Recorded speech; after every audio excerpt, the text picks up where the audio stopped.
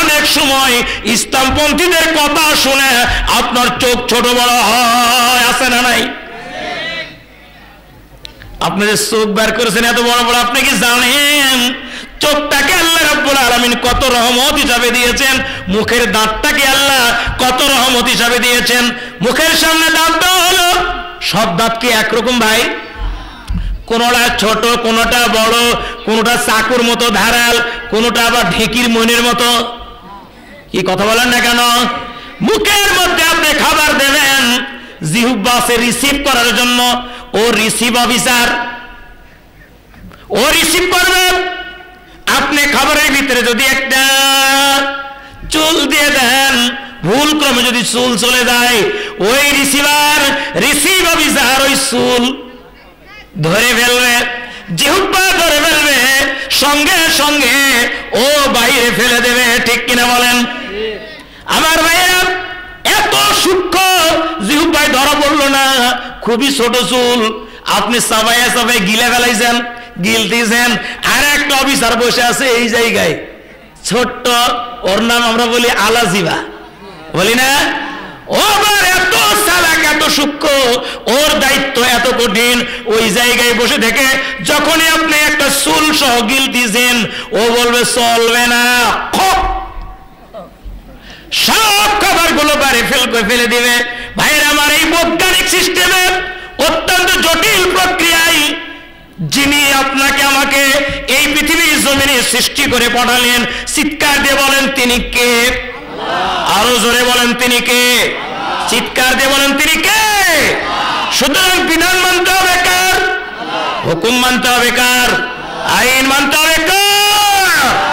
বিড়ি খাব কার হুকুমে? ঘুষ খাব কার হুকুমে? গম মারবো কার হুকুমে? ইসলামের বিরুদ্ধে কথা বলি কার হুকুমে? আলে মলামাদেরকে নিয়ে, দুনিয়ার মানুষকে নিয়ে গিবত দেয় কার হুকুমে? প্রিয় ভাই আমার, আমি আপনাদেরকে বলছি কেমতের ময়দানে আপনাকে প্রশ্ন করা হবে এক পা মানুষ সামনে আগাতে পারবে না। জানি পাটা ধরে ফেলা হয়েছে, পা জানি আটকে গেছে প্রশ্ন করা হবে প্রথম প্রশ্ন, তোমার জীবন যৌবনটা? বলো তো, তোমাকে যে দাঁত দিলাম, মুখ দিলাম, চোখ দিলাম, তোমার বডিটাকে কত সুন্দর করে বানালাম। নাকটা দিয়েছে মুখের কাছে। কি সুন্দর ভাবে দেখতে স্বাভাবিক ভাবে একটু উঁচু হলো, এর সৌন্দর্য আছে না নাই? কি যে সৌন্দর্য, যেই মেয়ের নাক বড়, সেই মেয়েকে নিয়ে কবিরা কতই না কবিতা লেখে। যারা সাহিত্যিক মানুষ, শিক্ষিত মানুষ, বড় বড় নাক, এমন মেয়েকে মানুষ পছন্দ করে। সমান আল্লাহ কন। আল্লাহ নাকটা বানালেন। মুখের ওপরই দিয়ে দিলেন। যদি নাকটা মুখের কাছে না দিয়া, নাকটা যদি এই পিছন দিকে দিত আল্লাহ।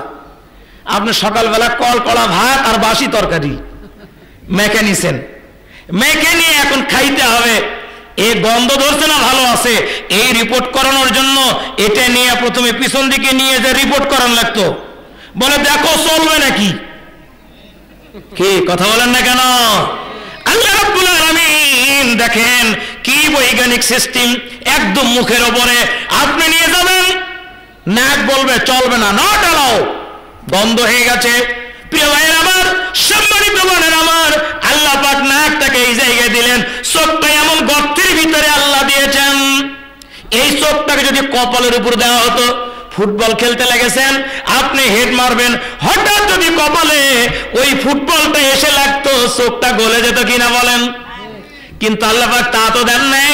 কপালে গর্ত কেটে ওই গর্তের ভিতরে আল্লাহ চোখটা দিয়ে দিয়েছেন। যদি কোনো সময় কোনো ধাক্কা লাগে, কোন শত্রু যদি লাঠি, বাড়ি মারে, কিংবা কোন গাছের কোন বাড়ি যদি লাগে, সর্বপ্রথম এই চোখের উপরে হাড্ডিগুলোর উপর লাগবে। মেরে বলেন তো দেখি, এই সেফটি করে আল্লাহ যে স্রষ্টা, যে মহান এই পৃথিবীর জমিনে আপনাকে আমাকে সৃষ্টি করে পাঠালেন। চিৎকার দিয়ে বলেন, তিনি কে? সুতরাং হুকুম মানব কার? গোলামি করব কার? নামাজ পড়ব কার হুকুম মতো? রোজা রাখব কার হুকুম মতো?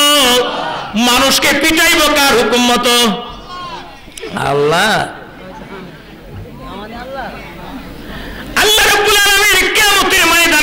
করবেন আন বান্দা বলো, ও দুনিয়ার মানুষ বলো রে, তোমার এক ধাপ সামনে আগানোর সুযোগ নাই, এক নম্বর প্রশ্ন তোমার জীবন যৌবনটা কোন কাজে লাগিয়েছ? ইসলামের পক্ষে না ইসলামের বিপক্ষে? আজকে জায়গায় যারা আছেন, দিনের জন্য ইসলামের জন্য আপনার জীবন যৌবন, আল্লাহর জন্য আপনার জীবন যৌবন, না দুনিয়ার নেতা, নেত্রী, পীর সাহেব কিংবা কোনো মানুষের জন্য আপনার জীবন যৌবন? জোরে বলেন, কার জন্য? আরও জোরে বলেন, কার জন্য? আল্লাহ পাক যেন কবুল করেন, জোরে বলেন, আমিন। আরও জোরে বলেন, আমিন। দুই নম্বর, আন ইলমিহি ফিমা আমিলা। তোমাকে জ্ঞান দেওয়া হয়েছিল, ওই জ্ঞানটা তুমি ইসলামের পক্ষে না বিপক্ষে কাজে লাগাইছো। এই পৃথিবীর জমিনে আলেম আছে বহু, ডাক্তার, মাস্টার, প্রফেসর, ইঞ্জিনিয়ার আছে বহু। আল্লাহ রাব্বুল আলামিন এই যে জ্ঞান দিলেন আপনাকে, আমাকে, সব মানুষকে আল্লাহ কোনো না কোনো জ্ঞান দান করেছেন। আমাদেরকে আল্লাহ যদি পাগল বানাইতো, এখানে এসে বসে থাকতে পারতাম। কিছু লোক আছে যে লোকগুলো খালি চিল্লা চিল্লি করে। মায়ের পেট থেকে বের হওয়ার পর এ পর্যন্ত কথা বলতে পারে নাই, এমন লোক দেশে আসে না নাই। আল্লাহ পাক আপনাকে আমাকে এমন পাগল বানান নাই। আল্লাহ রাব্বুল আলামিন বলছেন, বান্দা, তুমি যখন বের হলে, মায়ের পেট থেকে বের হলে আল্লাহু খালাকাকুম আল্লাহু খালাকাকুম মিন বুতুনি উম্মাহাতিকুম, লা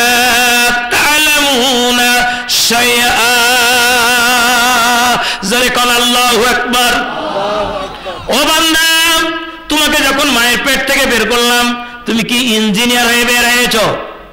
কি ইঞ্জিনিয়ার? আল্লাহ শাইআ। তোমার জ্ঞান ছিল না, বুদ্ধি ছিল না।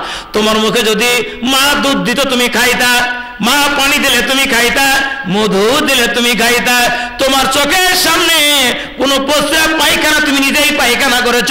বাচ্চারা অনেক সময় নিজের পায়খানা হাত দেবে মাখে। কি মাখে না? খালি মাখে। মুখেও তুলে দেয় কি দেয় না? তুমি কত নির্বোধ, তুমি কত নির্বোধ, তুমি কত বোকা ছিলে। আজকে তুমি যে চেয়ারম্যান আজকে তুমি যে বক্তা, বলো দেখি এই জ্ঞান তোমাকে কে দিয়েছে? কথা বলেন?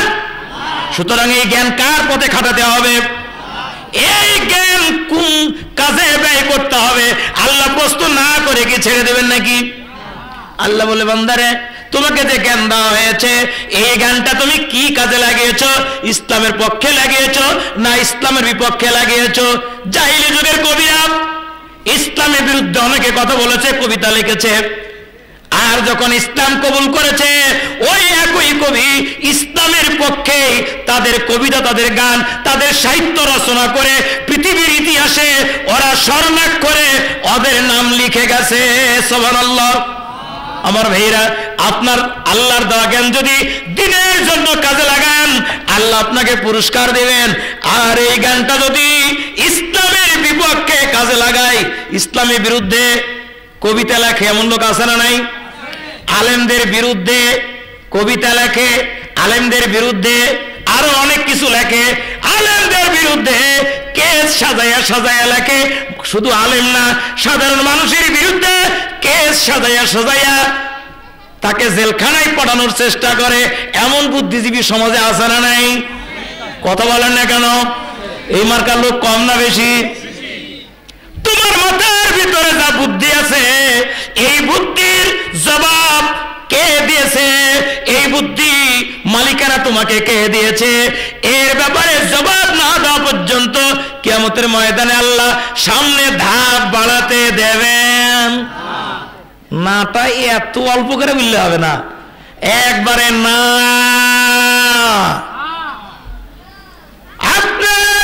বুদ্ধির ব্যাপারে আল্লাহ প্রশ্ন করবেন, জবাব না দেওয়া পর্যন্ত সামনের দিকে এক ধাপও আগাইতে দেওয়া হবে না। তার মানে কোনো সন্দেহ? আমাকে তাড়াতাড়ি শেষ করা লাগবে। আজকে বক্তা কিন্তু ইন্ডিয়ার। বাংলাদেশের বক্তার খাওয়া নাই। তবে যতক্ষণ খাওয়া আছে, ততক্ষণ পর্যন্ত চলবে ইনশাল্লাহ সভাপতি যতক্ষণ না বলতেছে, ততক্ষণ পর্যন্ত আমি ছাড়তেছি না। প্রিয় ভাইয়ের আমার, সম্মানিত বোনের আমার আমি আপনাদেরকে কেমতের ময়দানে কিন্তু দাঁড় করাইছি। আমি যত সহজে আপনাদেরকে রাখছি, ওই সময়ের অবস্থা তো সহজ নাকি? হজরত আইসারদি আল্লাহ তালানা কান্তিছিলেন হাদিসটি যখন বলছিলেন তখন তিনি কান্তিছিলেন হযরত আয়েশা বলেন সামিত রাসূলুল্লাহ সাল্লাল্লাহু আলাইহি সাল্লাম ইউশারুন নাসু ইয়াউমাল কিয়ামা হুফাতান উরাতান গুরালান قلت يا رسول الله الرجال والنساء جميعا ينجر بعضهم الى بعض আমার ভাইরা আমি নিয়োগ করেছি হাদিস ছাড়া কোনো রেফারেন্স টানবো না হাদিস ছাড়া কোনো কথা বলব না। হাদিস দিয়ে আপনাদেরকে বোঝাবো। কামতের ময়দানে আল্লাহ রাব্বুল আলামিন যখন তার সামনে আমরা দাঁড়াবো, ওই সময়ের অবস্থা এত বেগতিক হবে। আপনার গায়ে জুব্বা সিস করে নেওয়া হবে। উন্না গায়ে থাকবে না। টুপি মাথায় থাকবে না, গায়ে কোনো জামা থাকবে না, প্রধানমন্ত্রী কোনো পোশাক থাকবে না এমপি মন্ত্রীদের কোনো ডিফেন্স টিম থাকবে না চেয়ারম্যান মেম্বারে কোনো কর্মী থাকবে না, নেতা নেত্রী পিছনে কোনো লোক থাকবে না, খালি মাথায়, খালি গায়ে, খালি পায়ে, ন্যাংটা করে আল্লাহর সামনে দাঁড় করানো হবে। হজরত আয়সা কামতে লাগলেন। নবীজি বলেন আয়সা কাঁদো কেন? আয়সা বলে রাসূলুল্লাহ আর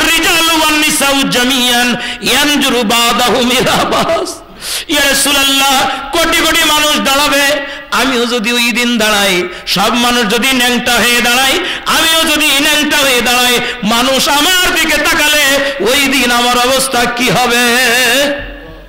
হযরত আয়েশা, রাসূল বলেন আয়েশা আল আমরু আল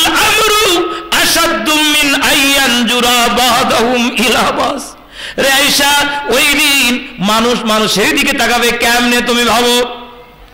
আমার ভাইরা, অবস্থা তো বেগতিক হবে। আল্লাহ নবী বলেন, মানুষের মাথার আঘাত ঊর্ধ্বে সূর্য এসে দাঁড়িয়ে যাবে।